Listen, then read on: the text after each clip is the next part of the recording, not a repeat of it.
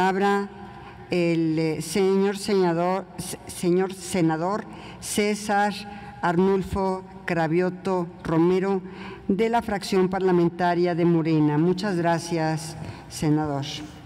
Sí, buenas noches o madrugadas más bien. Bien, eh, hoy siendo el último orador de esta jornada, primero quiero felicitarnos porque con esta ley estamos aprobando tres leyes en esta primera sesión de esta primera legislatura. También quiero reconocer la aportación que todos los grupos parlamentarios hicimos para que este dictamen fuera un dictamen más completo y fuera un dictamen que nos dejara satisfechos a todas y a todos.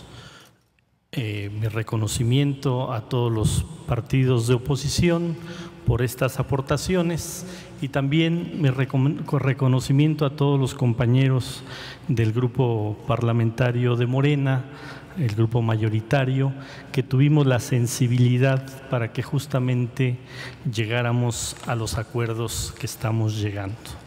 Hoy este dictamen es un dictamen donde le estamos cumpliendo al pueblo de México y es un dictamen también donde la democracia participativa se fortalece. Hoy los habitantes del país van a tener una herramienta muy poderosa para no solo designar, elegir gobernantes cada seis años, sino que pueden constantemente hacer evaluaciones de sus gobernantes y decir, este gobernante continúa en su cargo o este gobernante hasta aquí llegó. Pero también quiero decir que este, esta mayoría del grupo parlamentario de Morena, y, solo me refiero a Morena porque eh, nosotros tenemos la encomienda de apoyar al presidente de la República y le hemos cumplido al presidente de la República con este dictamen. Y lo digo con orgullo, le hemos cumplido porque es un presidente que tiene un gran respaldo ciudadano un gran respaldo popular y es el primer interesado para que se dé este proceso. ¿Por qué? Porque el presidente de la República tiene un compromiso irrestricto por la democracia y por eso desde la campaña dijo yo me voy a someter a la revocación de mandato y eso es lo que va a ocurrir entre marzo y abril del próximo año un compromiso más que se va a cumplir por parte del presidente de la República. En este dictamen también todos los grupos parlamentarios le decimos al INE que el Senado de la República es quien legisla, que el INE debe aplicar esta legislación a cabalidad para que este proceso sea impecable.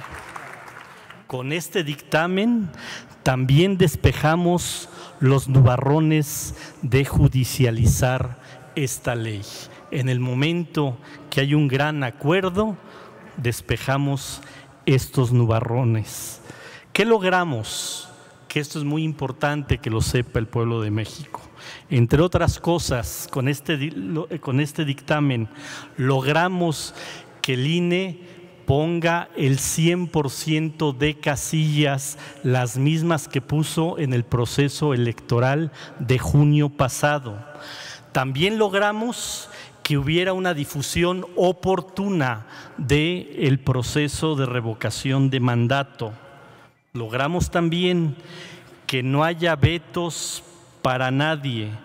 Todos podemos hablar, todos podemos llamar para que el presidente, en su caso, digamos, siga en su cargo o quien no quiera, diga, sea removido de su cargo. No va a haber bozales para nadie.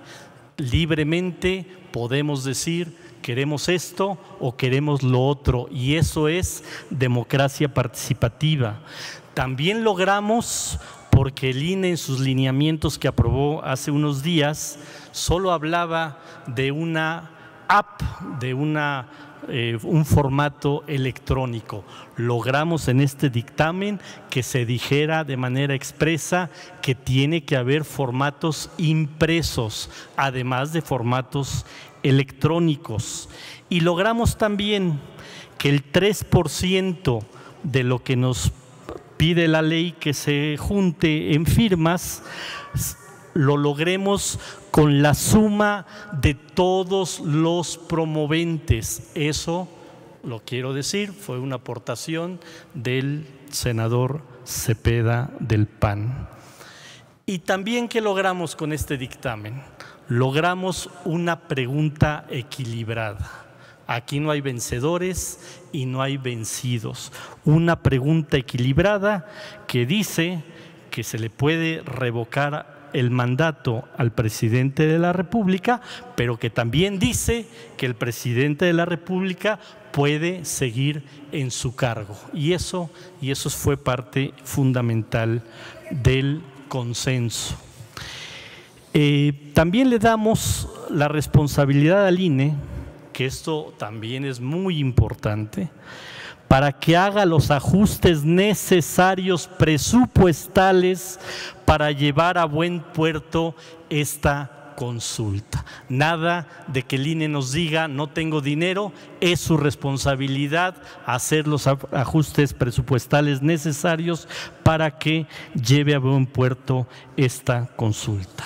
Pues bien, ya que todos estamos satisfechos con este dictamen, no me toca más que invitar a la oposición a que participen, a que saquen firmas, a que convoquen, a que si ustedes creen que se tiene que revocar el mandato del presidente, trabajen para ello, porque nosotros vamos a hacer lo propio.